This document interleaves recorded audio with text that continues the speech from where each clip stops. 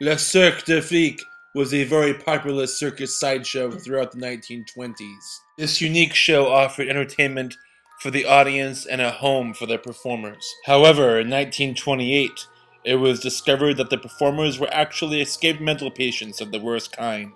Believing that this explained the recent disappearances of local children, people took action.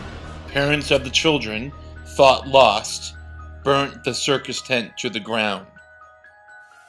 Along with the freaks still inside of it. They didn't know that their children had actually become the very freaks that they had made disappear.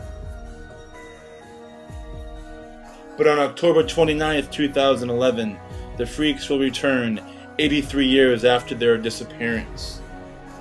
They will entertain and horrify you, but beware, for they also seek revenge.